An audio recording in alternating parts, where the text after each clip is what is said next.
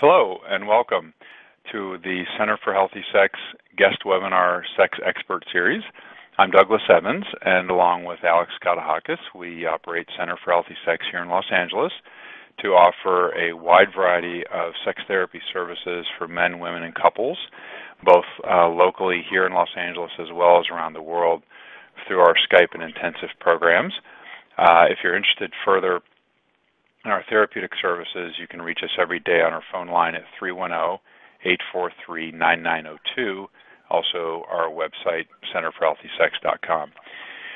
One of the things we also enjoy offering is public education around all topics of sex, sexuality and sex therapy and uh, sex addiction treatment on a wide variety of topics. And today we have the pleasure to have with us uh, Laurie Mintz, who is a therapist, author, professor, and speaker.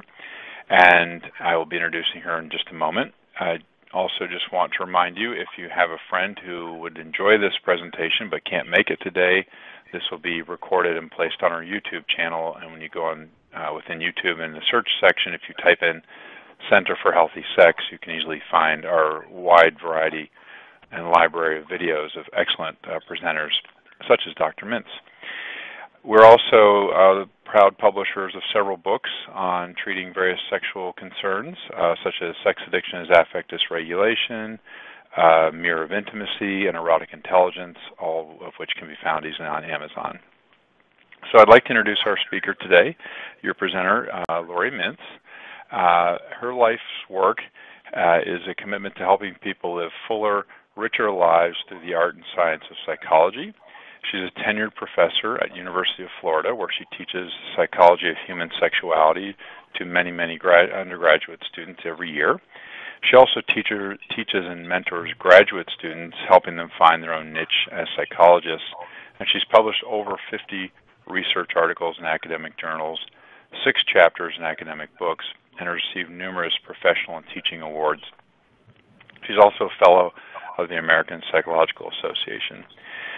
In addition, Dr. Mintz is the author of two popular and highly acclaimed books, uh, both written for the aim of empowering women's sexuality.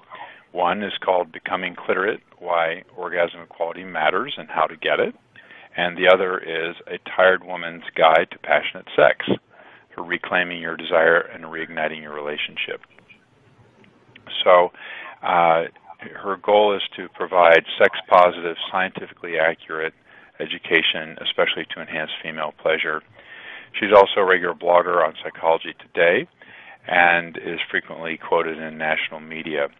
She's also maintains a small private practice in her spare time, and one of her greatest honors is to help clients reach their goals to live fuller and more authentic lives. So today's topic is uh, probably most likely based on her book, is Becoming Cliterate, and I present to you Dr. Laurie Mintz. And thank you, Dr. Mintz, for your presentation today. Thank you for having me on. Well, hello, everyone. Uh, thank you so much for coming to my webinar on becoming cliterate, and that pun is intended. I hope after this webinar you come and come and come again. Um, as you'll see, I find this topic very serious, but I do have a little punny sense of humor that you may um, here throughout the presentation. Speaking of the presentation and how it will go, it is, as you know, an hour, and I will take questions throughout, especially if they're about what I'm talking about. I may choose, if it's not right on topic, to just say, hey, let's hold that to the end. And in terms of the questions, um, please don't use the Q&A feature of any meeting, but instead put all your questions in um, the um, the com the chat box um, to the left, which they just told you to use. So you'll see that pop up. So let me start by introducing the reason that I wrote uh, Becoming Cliterate. Um, as you've heard, I'm a licensed psychologist. I've been seeing clients for general and sexual issues for over 25 years. And I also taught graduate students sex therapy at the University of Missouri, but then about six years ago, I moved to the University of Florida, and that's where I began teaching about 175 students a year um, human sexuality. And My students, okay, oh, there we go. There's a little delay there. My students tell me that I remind them of the mother and the sex therapist in Meet the Fockers. Maybe you see a resemblance, maybe not. I think it's because I have curly hair, a large nose, and because I tell lots of stories about my sex therapy practice and my personal life. My students also describe me as quirky because I sometimes say what they consider outrageous or surprising things. As example, on the first day of class, I tell my students my qualifications for teaching the class. And one of the qualifications I tell them is that I've been having orgasms longer than they've been alive. Um, and they're usually a little shocked. Um, but then, on a more serious note, in terms of my students, it was their experiences, their frustrations, as well as their successes that inspired me to write this book.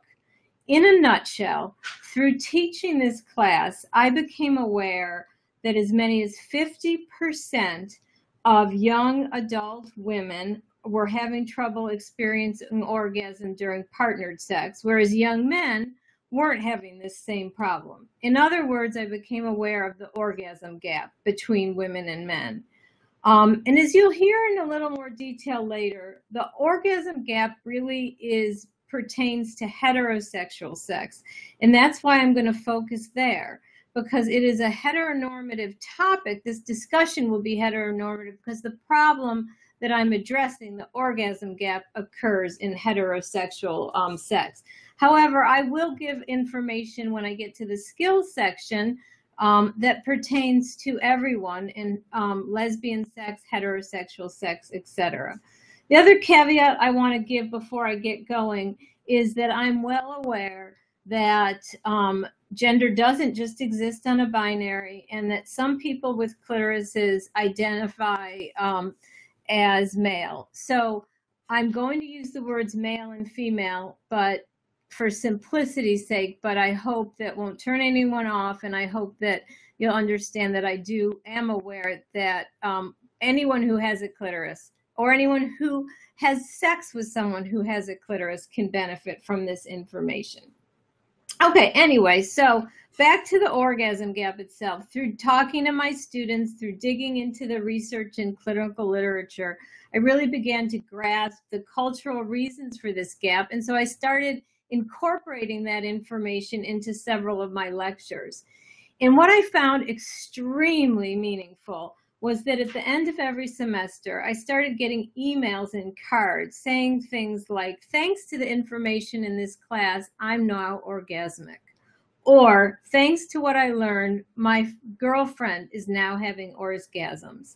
I also got many notes from young um, women in my class telling me that before the information in my class, they felt flawed.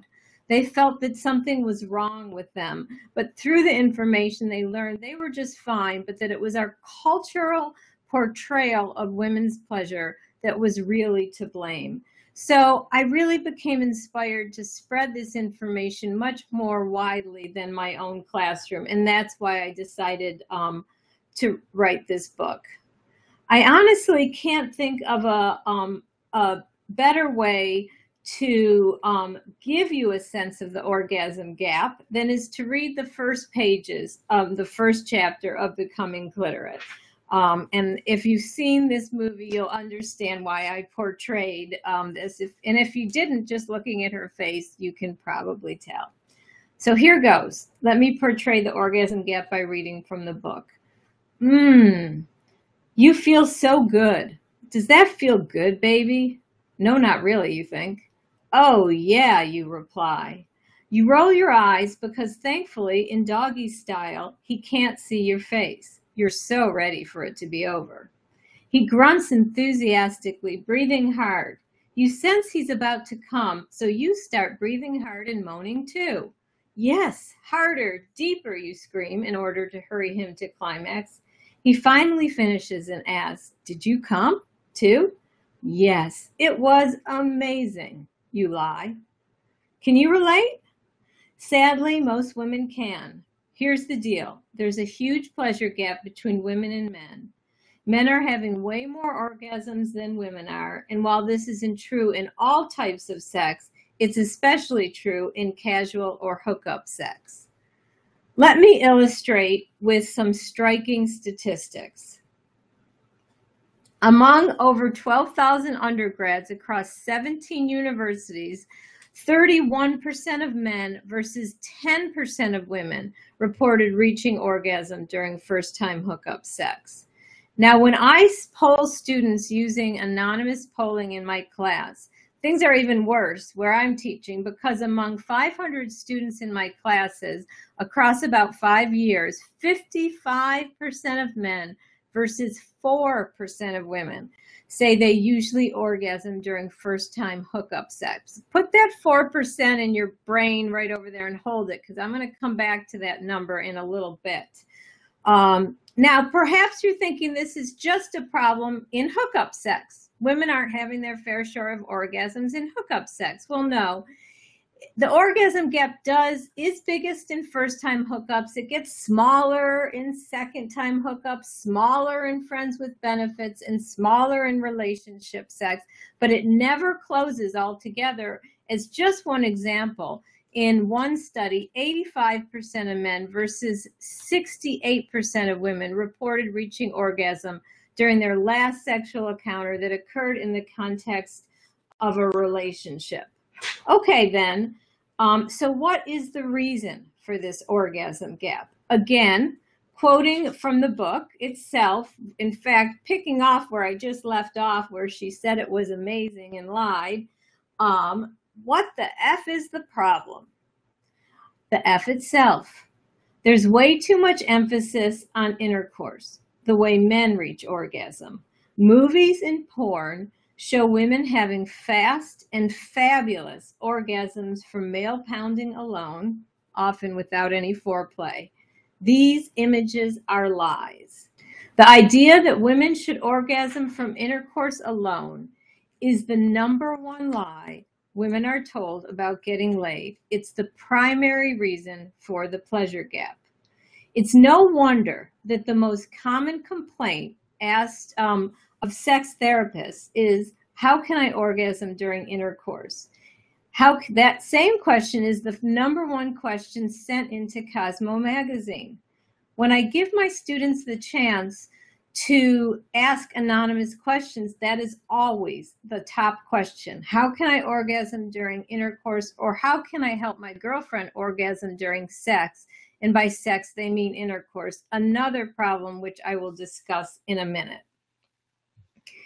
It's also no wonder that almost 70% of women fake orgasm during intercourse. Another great movie scene, Harry Met Sally, the famous fake orgasm scene in the restaurant. Um, if you haven't watched it in a while, Google it and just watch that scene. It's a lot of fun. Anyway, 70% of women fake orgasm during intercourse. And when asked why, the number one reason that they give is to avoid appearing abnormal. And they also talk about making their partner feel good about himself. So, all of this is related to the cultural lie that women should orgasm from a thrusting penis, and it's the man's job to thrust hard and just right and last long to have this occur. So, the first step to closing the orgasm gap is to provide realistic information on how women most reliably reach orgasm. Maybe you've heard the statistic in women's magazines, etc., that 70% of women don't organ- orgasm. I was going to say, I almost said organize, but 70% of women don't orgasm from intercourse alone. Um, interesting that 70%. Um, however, as, as pointed out by a very, very meticulous scholar who analyzed all these studies that came up with this number, most don't differentiate between women who can orgasm from just a thrusting penis and those who can orgasm during intercourse by making sure their clitoris is also being stimulated, perhaps by being in a position with which they can rub it against a man's body part or by touching it themselves with their hands or a vibrator. Um, however, when this differentiation was made in two different recent studies, they both came out with the number that 15% of women only have orgasms from thrusting alone.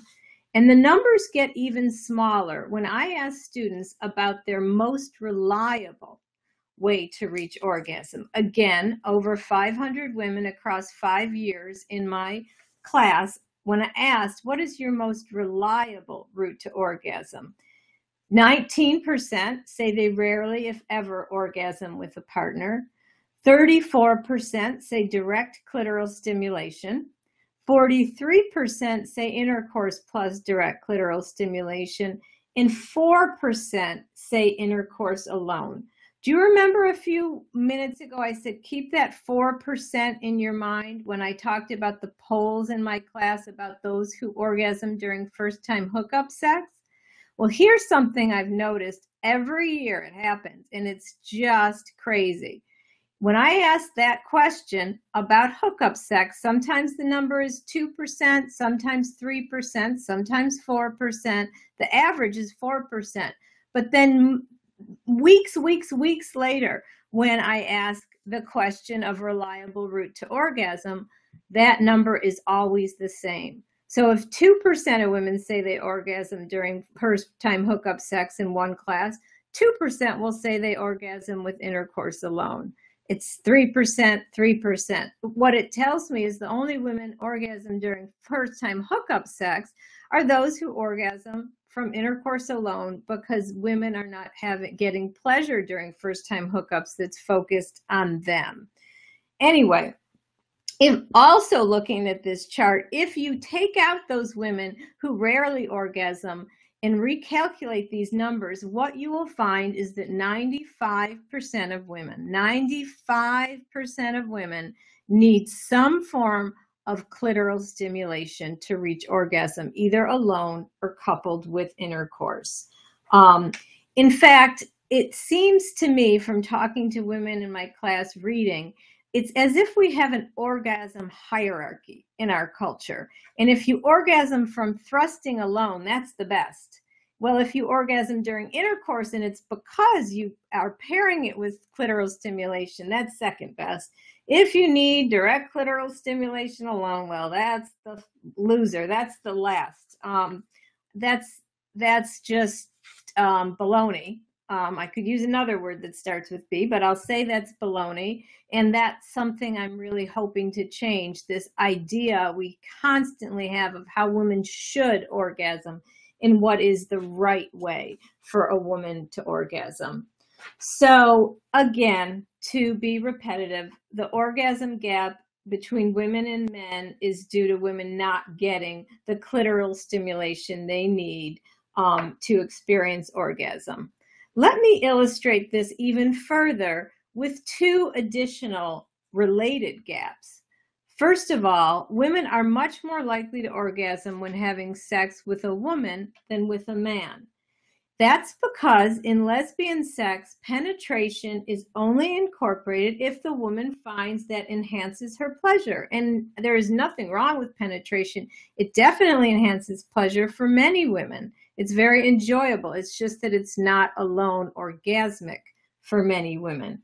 Also, while some people say that lesbian sex is orgasmic because if you have a clitoris, you'll know what to do with it that's not true because of another very, very important point I want to underscore. And that is that every woman's nerves are distributed just a little bit differently across her genitals. None are the same. So, what it takes to orgasm differs woman by woman.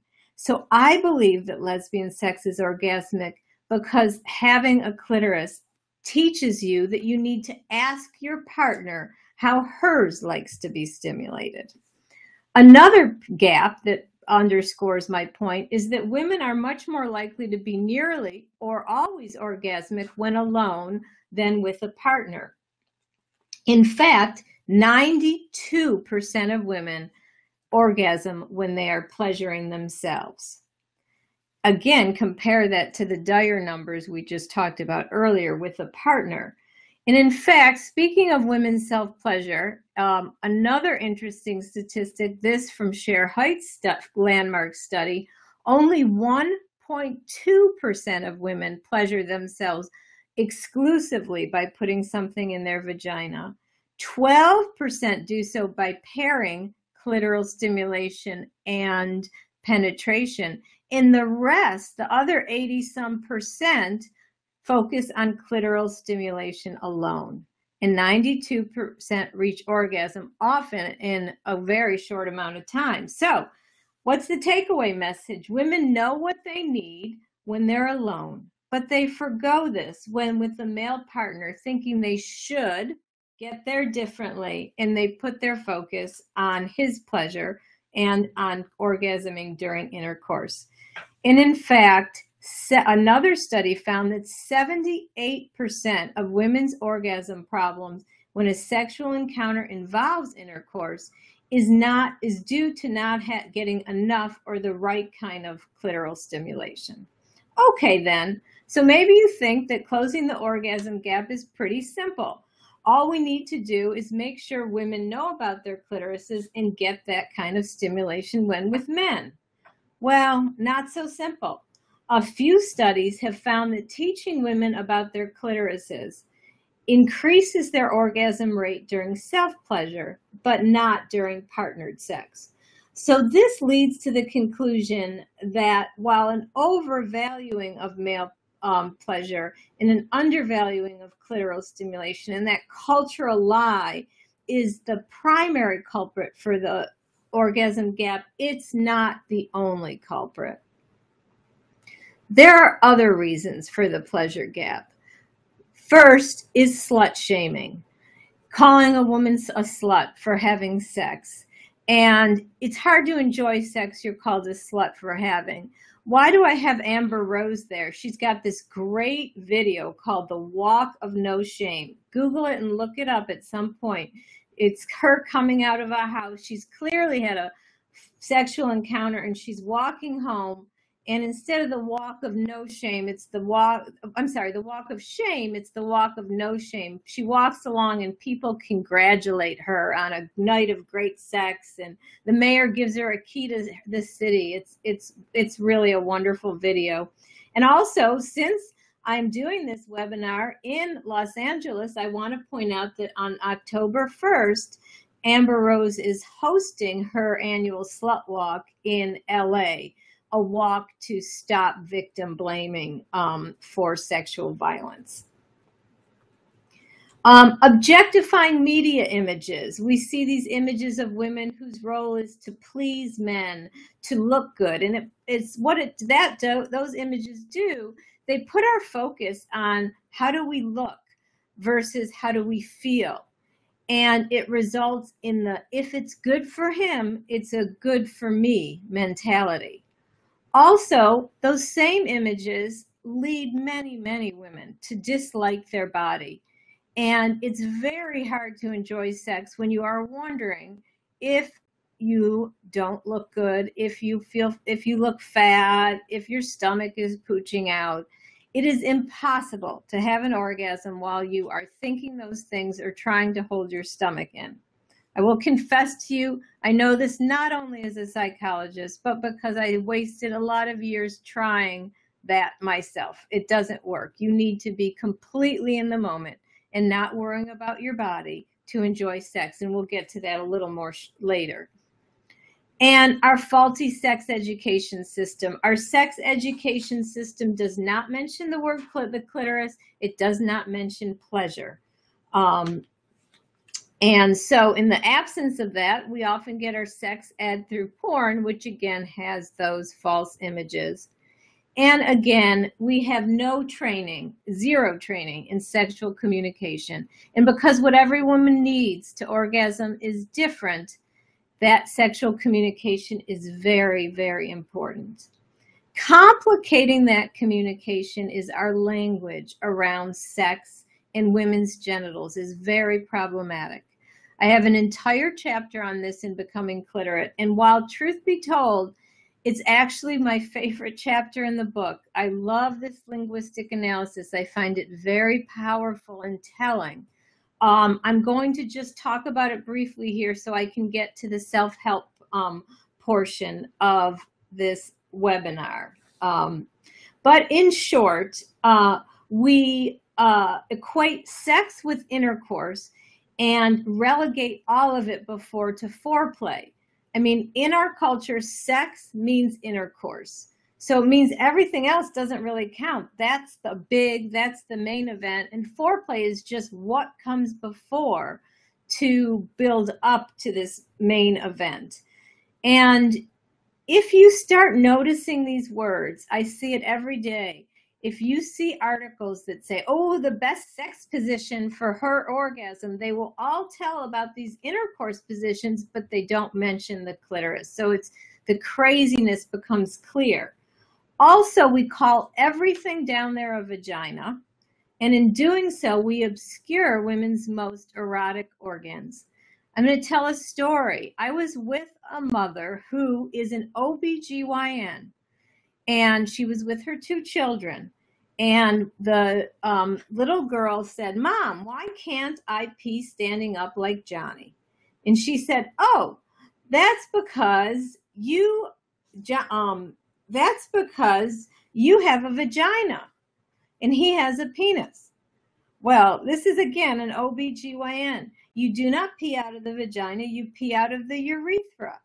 The vagina is where penises go in and babies come out, yet we call everything down there a vagina. That would be like saying, Are you hearing me talk out of my nose? Oh, it doesn't matter because it's it might be my mouth, my nose. It's all the same. It's on my face.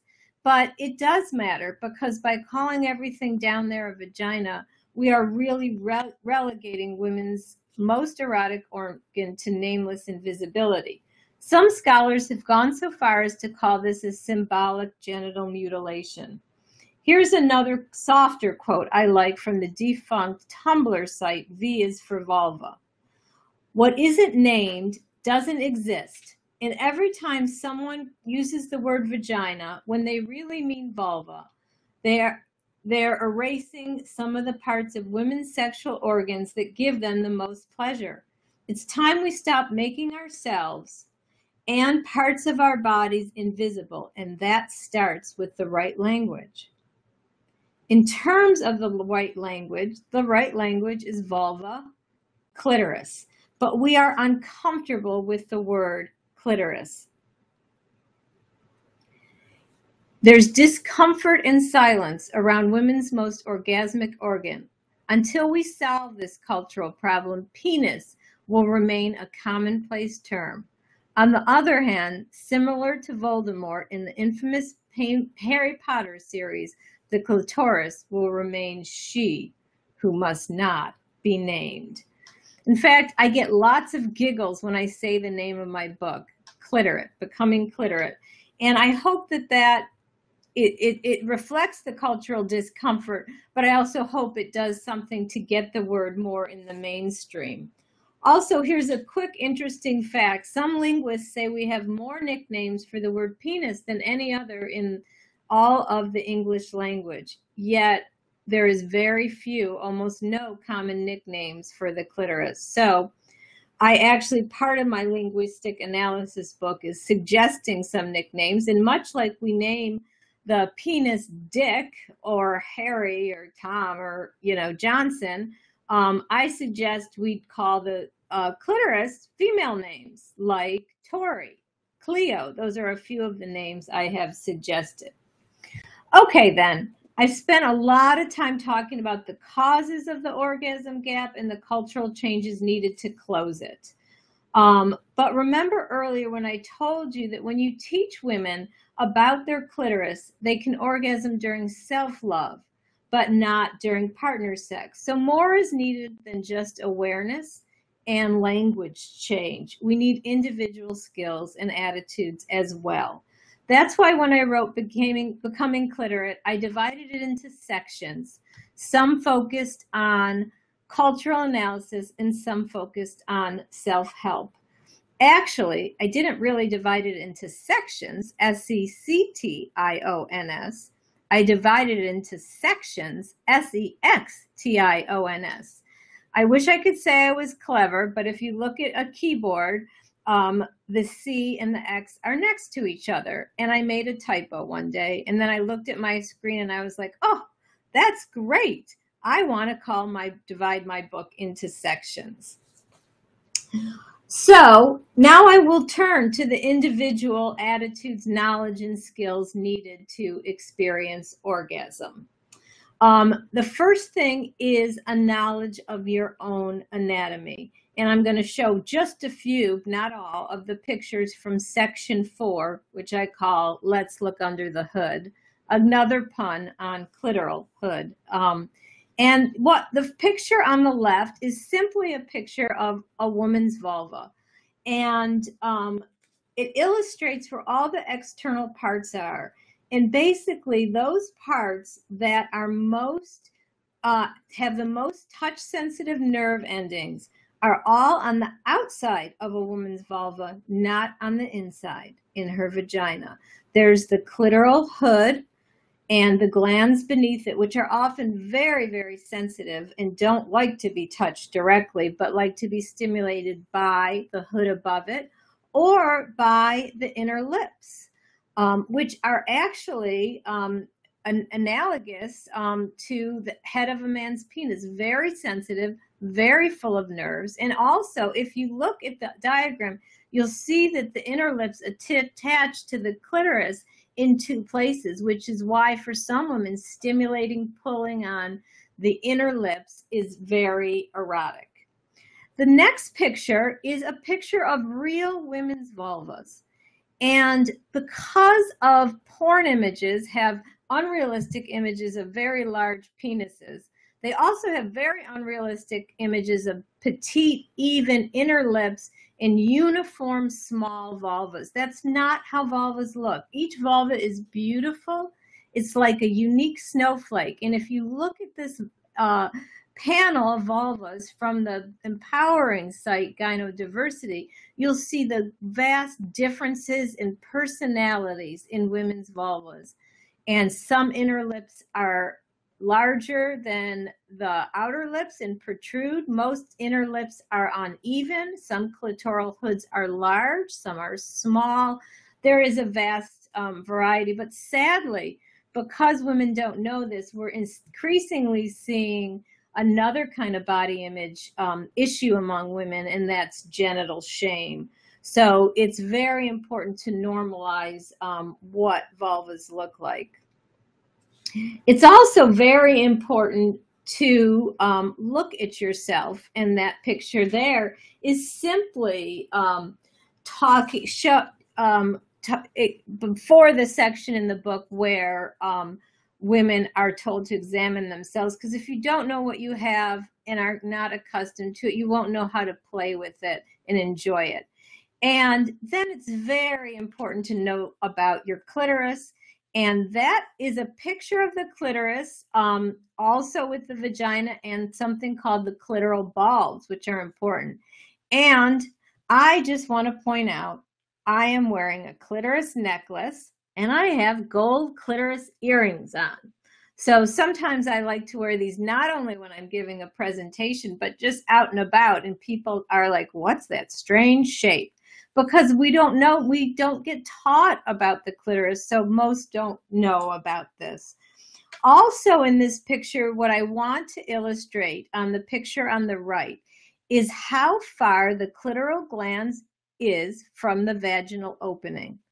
Now, that so that you can see why a thrusting penis would not often stimulate those the clitoris. Now, some people say that women who orgasm from thrusting alone do so because those clitoral bulbs that surround the vagina are being stimulated. Others say because as a penis thrusts in and out, it will pull those inner lips in just the right way as to move the clitoral hood and the, stimulate the glands. Because remember when I was showing you that the lips are attached to that. So the penis in and out pulls the lips, then pulls the hood and stimulates the glands. But as stated by another author, pulling on your cheeks will get your ears to move.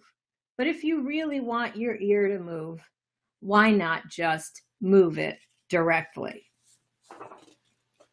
Also, interestingly, some research shows that the distance between the clitoral glands and the vagina, if it's more than an inch, you are much less likely to orgasm during intercourse. Again, demonstrating this isn't something women should be doing or can learn to do necessarily. It's it is biology. It's our biology, and there's nothing, nothing wrong with our biology. So get to know your own biology and um, where your sensitive parts are and how. How do we do that? Now I'm going to talk about the individual skills needed to experience orgasm. Um, and that's from section three of my book, Time Has Come for You to Come. And the first thing to do is to train the sex organ between your ears. And you need to first identify and change thought patterns. So that slut shaming, for example, uh, stop slut shaming yourself. Think se- sex positive thoughts about how I'm entitled to orgasm. My pleasure is important. And talk to yourself. Tell yourself things like that. Work on body positivity. Um, I love my body for what it can do. I love that my body's capable of exercise. Also, very interestingly, one type of exercise, yoga, has been found to increase orgasm and sexual functioning. And I think that's because yoga helps us learn mindfulness. What is mindfulness? If you look at this picture, it demonstrates the the parent and child are walking and the parent's thinking of everything but what's happening in the moment and the child is seeing what is only before them. I also i like to say mindfulness is putting your mind and your body in the same place. Sometimes we can be doing one thing and thinking another. We can be in the middle of having receiving oral sex and think about an email we have to do or if we smell funny. And mindfulness is be putting your mind and body in the same place. I also talk to people about, and I want to talk to you about how it's like a roller coaster. Whether you like riding it or not, if you've ever ridden one, you're going up, up, up, and you're thinking, if you're like me, oh no, am I buckled in? Oh no, I wish I wouldn't have gotten on this thing. Oh, I wish I could get off. I hope this is over soon. But then as you start going downhill, you stop thinking at all and you're just feeling. And that's what mindfulness is it is just feeling, being in the moment, and also learning to bring yourself back to the moment when your mind invariably wanders, which it does. So I advocate learning mindfulness in one's daily life first. Little moments, brushing your teeth can be a mindful moment, and then to apply it to uh, your sex life, to your sex life alone and by yourself. So basically, the take home message to train your mind is to think sex positive thoughts when you're not having a sexual encounter and turn off your busy brain when you are having a sexual encounter. Then the next section, the next step after training your brain is to take matters into your own hands. So, what do I mean by that? First, get comfortable with the idea of masturbation or self love. And some people have spiritual concerns.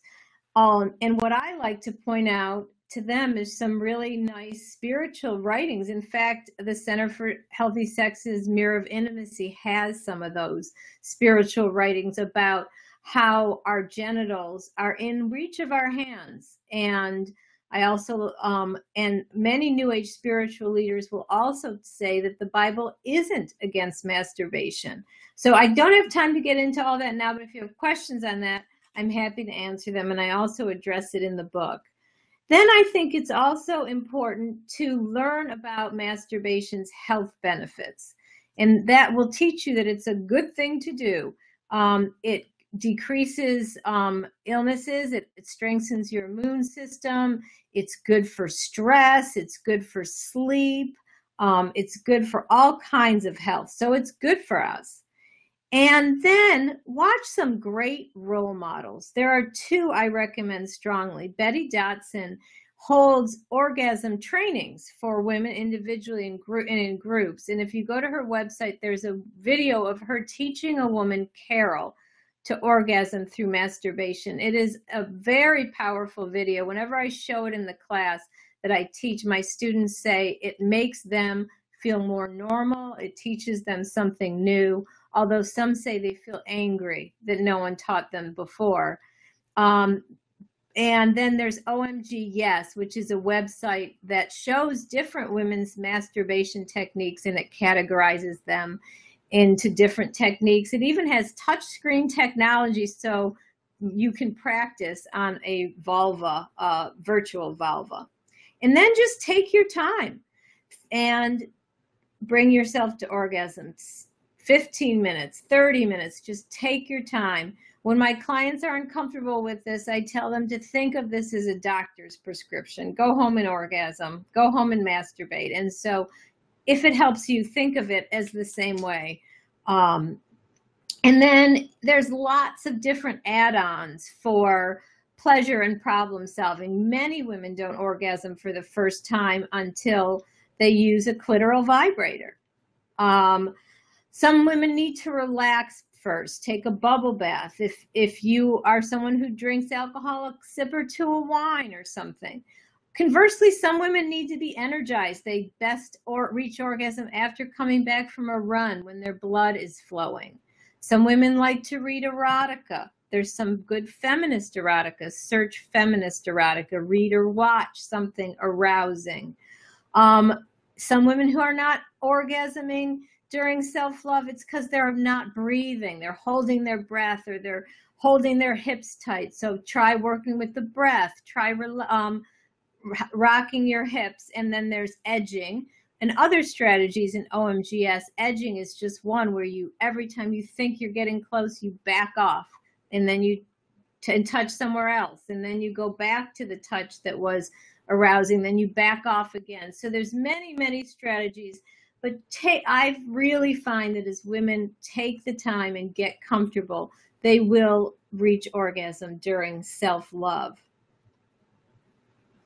and then though how to translate this into partnered sex well if we have a cultural script in our culture for sex foreplay intercourse his orgasm hers may be faked sex over so when I thought about this, I thought, I want to write new scripts, new plays where the female orgasm is the center of the play.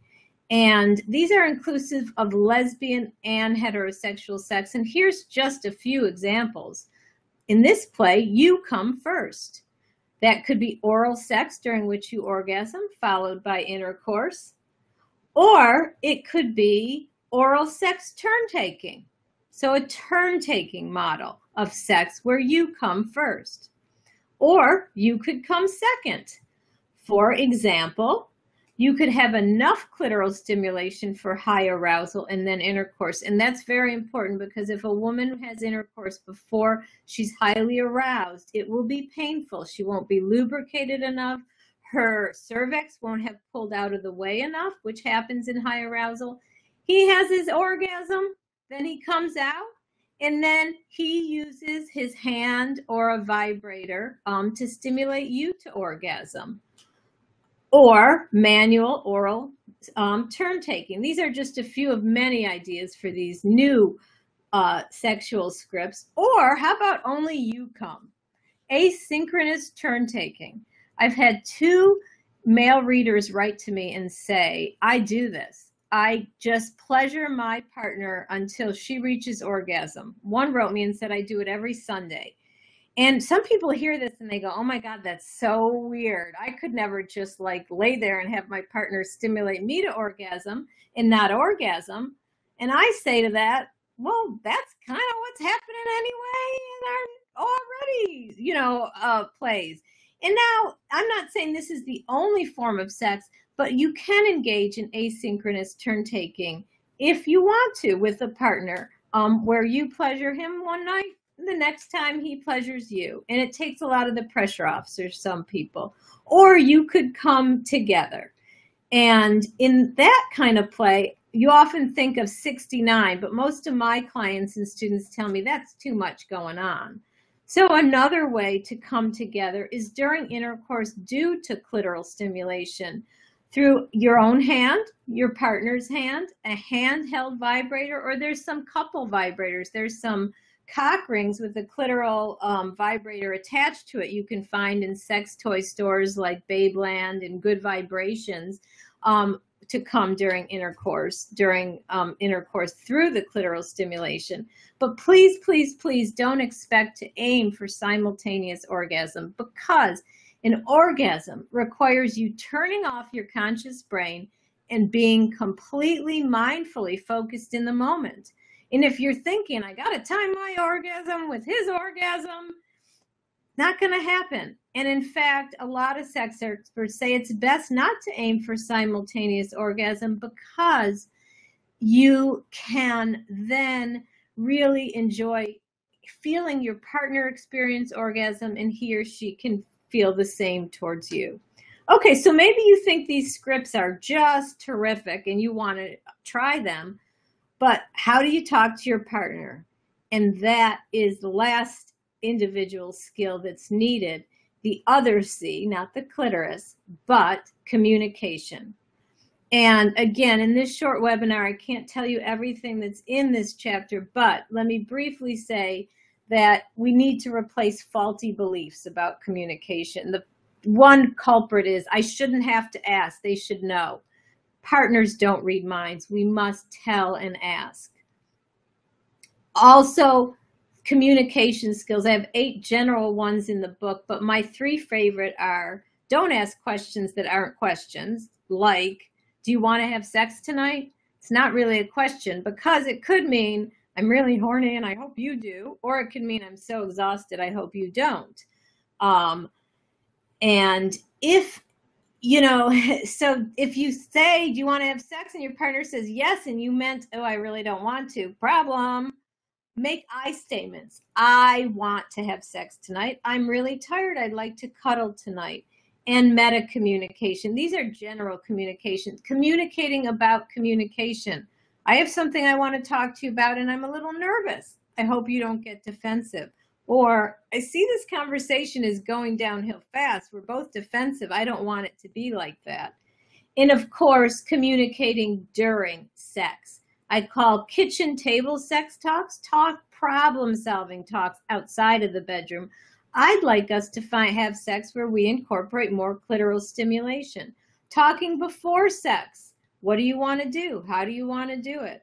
During sex, very, very important. People, the movies pretend that nobody talks during sex and everyone knows what to do, but real life sex requires communication, faster, slower. I'd like to do this. I'd like to do that. And actually, after sex, I think it helps for couples to talk. How was that? And it can you can then revel in how good it was, or you can do you know, it was great. And next time I'd like to do more of this. So lots and lots of talk about sex. And because my focus is on the clitoris, I also advocate cliteracy chats. Talking to your partner about what you need at a kitchen table sex talk. If you feel inclined and, and safe and brave enough, I know it's hard for many women, show your partner how you touch yourself and that will help them learn to touch you or watch OMG Yes together and talk about that. Communication is the bedrock of a good communication, and good communication can make your bed rock. So please learn good sexual communication, and then you can talk about all these other things that you want and need. And I want to say those are the skills, but in the book I have more. I say, wait, there's more. Come again. And very briefly, um, I debunk vibrator myths. They're not addictive. They don't take the place of a partner.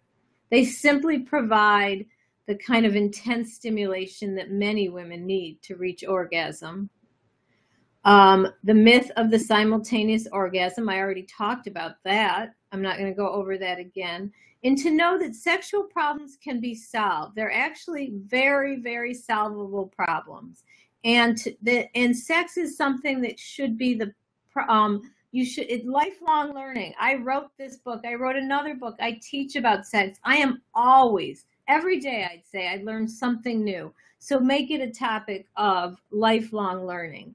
And then I come back to my feminist uh, analysis and I say, let's have a call to action. Let's start teaching other women about the lies that are being perpetuated. Let's change um, language so that we have an orgasm revolution.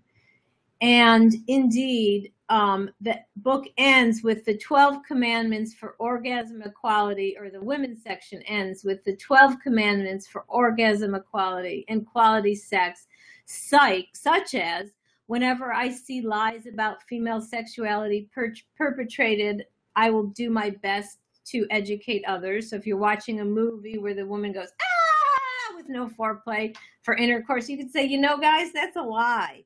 Um, and I won't read them all, but um, basically you get um, the the picture. And then I have a section for men because you don't have to have a clitoris to be cliterate, where I summarize all of that um, information for men. I think that this orgasm revolution is going to require men and women working together, talking about equal opportunity pleasure. And in fact, let me end before I take some questions with my two favorite borrowed quotes that are in the book and that really illustrate to me what I mean by orgasm equality. The first is by Dr. Cornel West when talking about racial inequities in our healthcare system. He said, It's time to stop being so well adjusted to the injustice. Being well adjusted to the injustice means prioritizing his orgasm and not having prioritizing one of your own. Um, although I will say, while I've focused a lot on orgasms, as I talk about in the book, making that too much of a goal, iron, you know, it's ironic, right? Like that's the goal in a sense that you want, but if you're too goal focused, it won't happen.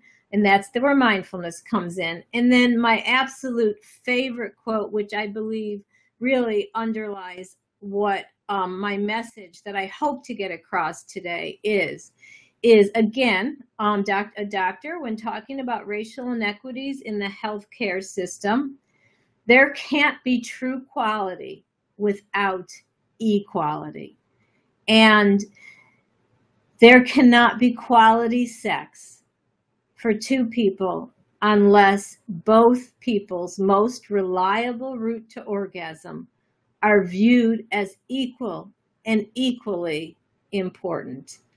Um, so I hope that you've learned something. I hope that you've been inspired for orgasm equality um, in your own life. And um, if you'd like to ask a question now, um, please um, email um, the questions to Charlie at Center for Healthy Sex. He'll read them anonymously or ask me something in the chat box. Because I finally will say, as you're getting ready for your questions, that for people with clits, the revolution is coming. Okay, I have a question on this slide, and I'm going to read it.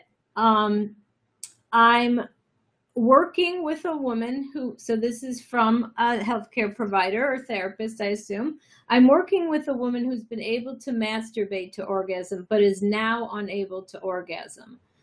Um, there may be psychological blocks going on that we're exploring, but we wonder if her diabetes could be interfering. Now, while I'm not a medical personnel, I have read that. That indeed because diabetes interferes with blood flow that that could be a problem so i would definitely um, have that person see their healthcare provider and whenever someone um, has been able to orgasm in the past and then stops certainly there could be psychological issues going on, but there are also some medical issues sometimes that need to be explored. And that, that makes me realize too, the antidepressants um, also block women's um, orgasmic capacity, make the orgasms go from a 10 on the Richter scale to a one or a zero. So that's another thing. Um, and someone just complimented me on my puns, and I um, appreciate that. Thank you. Okay, here's another great question. How can parents help ensure cliteracy with their children? Oh, I love that question because if we start there, we won't have an orgasm gap. And I think it starts very young. To start talking to children, it's not a one time conversation about sex, an ongoing age appropriate conversation. But doing things like naming the parts appropriately, um, you know, who, um, you know, your your name your vulva, your vulva, your clitoris, talk about the clitoris being the source of pleasure um, for um, girls, that kind of thing. In Norway, they start that very early. Um, and in, in sex ed, they talk about the vulva, they talk about the clitoris, they talk about pleasure.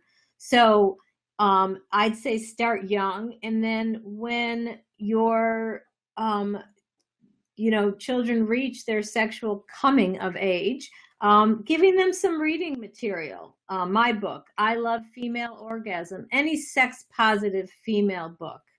Um, um, there is another question. Do you have more references um, to help me become more orgasmic, web, etc.? Um, yes, absolutely. Um, along with recommending honestly my own book, um, I would recommend I Love Female Orgasm. I would recommend Betty Dodson's website. Search Dodson and Ross or Betty Dodson and just read, read, read all the things on her website. Watch her YouTubes. Um, uh, watch some of her videos. That Carol video is $3 to rent. Um, watch OMG yeah, Yes. Um, I think all of those things um, would um, help you become more orgasmic. And take the time. Take the time with yourself.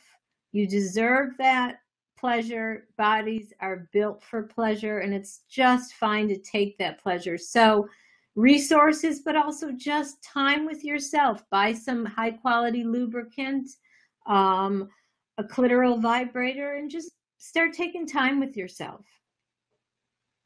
Ah, I believe God created pleasure organs for a reason. Any tips on working with spiritual people who are reticent? I think it depends on the type of spirituality.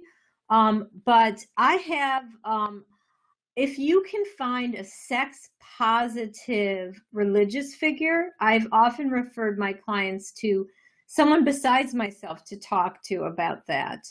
Um, I also have a client who found a book, and I cannot recall the name of it right now, but if you will go to my website and email me, I'll find that name for you.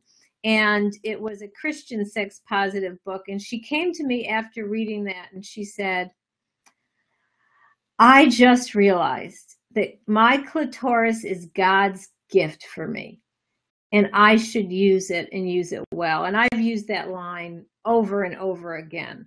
Um, that it's the only organ in the entire body dedicated to just pleasure. It's there for a reason. Our bodies are perfect, and so it's in, they're intended for pleasure. Um, and I also use the quote from Mirror of Intimacy about our hands our our bodies are designed so our hands have free reign free reach to our genitals. I think that design was for a reason too. Uh, one more question just came in. My husband is a sex addict and in recovery. Um, now i can question mark reach orgasm on the rare occasions we have sex I don't like to masturbate because that is he got how he got started as an addict. Okay, well, I'm sorry for the pain that you've been through, um, having a partner with a serious issue like that. Um, I'm really glad that you still can reach orgasm. That's wonderful. Um, however, I would like to say that just because your husband had a problem with masturbation doesn't mean that you will. Um, the, and the latest research I found is that actually um, a small number of people get addicted. And if you don't have an addictive personality, I would not be concerned about that. It might not be something you want to like openly sort of say I did this 10, you know, today and tomorrow, but it is a very important private activity and for women um, it also is very, very much research that masturbating keeps your genital tissue um, in good shape. Also, Marty Klein, um, I heard a podcast by him, and he said something that made a lot of sense to me and that is that it's not necessarily the masturbation that causes a problem it's the masturbating to porn and so um, that i don't know if that's true for your husband but that it's really not the masturbation that it's the problem it's the masturbating to porn so to encourage you to um, masturbate keep yourself healthy um, and not to worry about addiction. I have um, some food allergies. I use that metaphor. And my husband still eats those foods. They're a big problem for me, but they're not a problem for him. So I hope that helps you. Yes, um, someone just mentioned She Comes First is also a good resource um, by Ian Kerner. She Comes First is if you remember those plays, it's all about one of those first plays. It's all about oral sex. It's all about how to perform oral sex. And for it's an excellent, excellent book for those people who most reliably orgasm from oral sex. It really teaches their partner how to do that. I also I love that book. I love Ian Kerner.